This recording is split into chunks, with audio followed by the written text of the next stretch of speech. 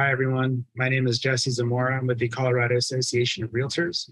And today I'm here to talk about two bills that were passed um, in this past legislative session. The first one is Senate Bill 114.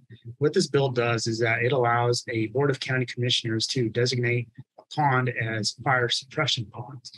And that bill is meant to help combat the wildfire risks that we have across the state, um, as well as creating a, a local resource of water for fire protection districts.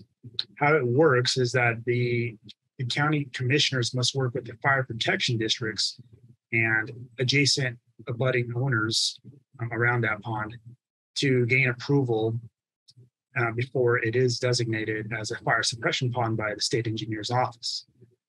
Um, we're very happy to see this kind of thing go through. This is exactly the, the kind of bill that respects property rights, but also addresses the wildfire risk, which can be devastating, um, as we might know.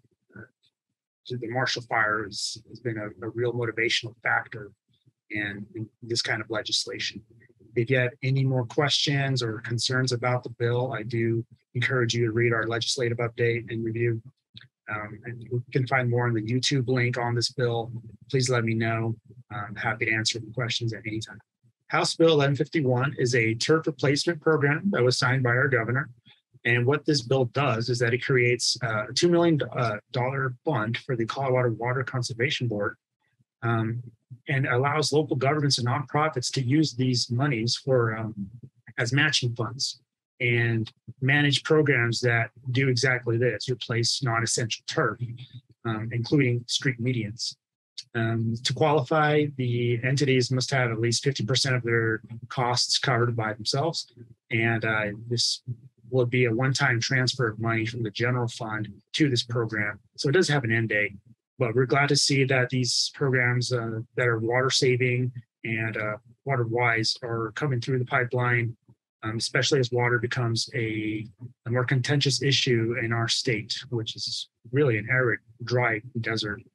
Um, very happy to see this. Uh, we monitored it just because um, we think there there was potential. Uh, we think that there may have been potential for this to have gone a different route, but we're very pleased to see that it is a, uh, a way to help governments and nonprofits build that type of infrastructure and and bring in that um, that water-wise landscape. This has been Jesse with CAR, and um, I hope you enjoy these updates. We'll have more coming soon. Thank you.